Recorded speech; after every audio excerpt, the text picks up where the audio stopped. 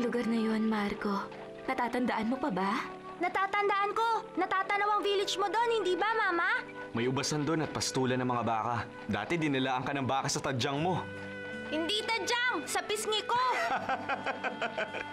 Doon ako ipinanganak at lumaki hanggang nag-14 anyos ako. Kaming dalawa lang ng nanay ko ang magkasama sa bahay. Alam ko po! Nung nagkasakit ang nanay mo, nagpunta ka sa Genoa para magtrabaho Ganun na nga, talagang sakripisyo yon.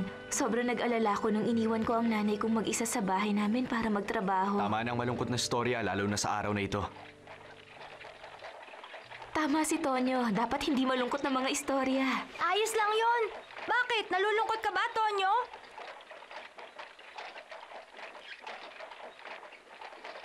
Ha? Ihinto mo sandali! Batang fox yun!